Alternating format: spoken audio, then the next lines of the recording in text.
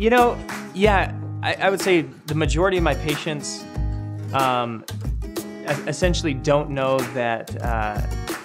that they're likely to respond to physical therapy more than any other um, type of treatment, in particular with like back pain. Um, a lot of people kind of think that they need to get um, lots of scans done, a lot of, lots of workup done, lots of lots of things done prior to seeing a physical therapist. And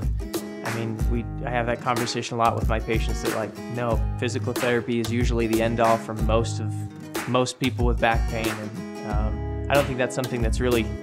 widely known.